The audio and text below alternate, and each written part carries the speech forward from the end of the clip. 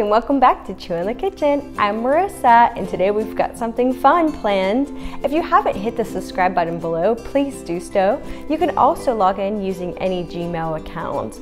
I'm gonna be making a delicious grilled trout today using some great ingredients. Let's get started.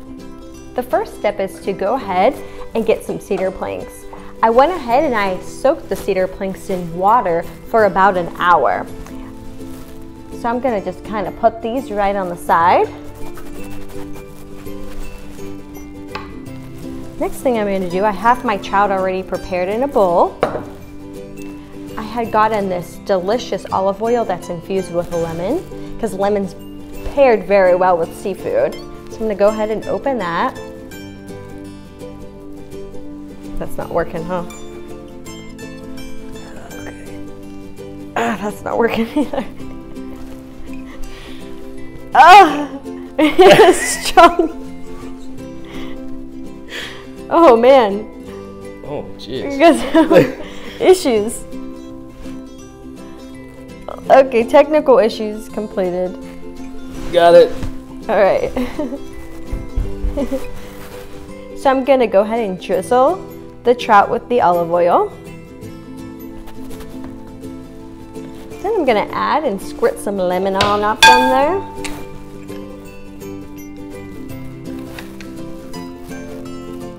And that's a half of a large lemon.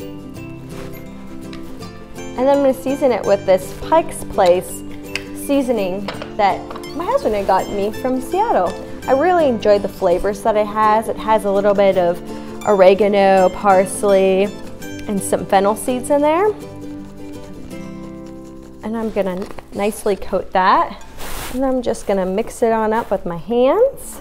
And I'm gonna place these right on my board.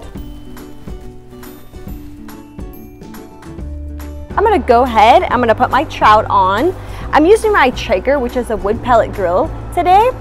You could either put it on 375 or on medium heat. I generally like to check it um, in about 10 minutes, but it relatively takes about 20 minutes to cook. Halloween is just a few days away, so tell me what you think. Kids stop by, you hand them two, three of these little guys like this, and you say, here you go. They say thank you and they move on. But I'm just not about just average or handing out what everyone else does. So instead of these, which seems about the same amount of chocolate, you give them one of these.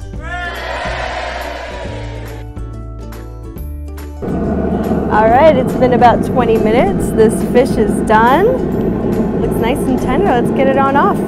The fish is off and we're ready to eat. Follow me on Instagram at Chu in the Kitchen.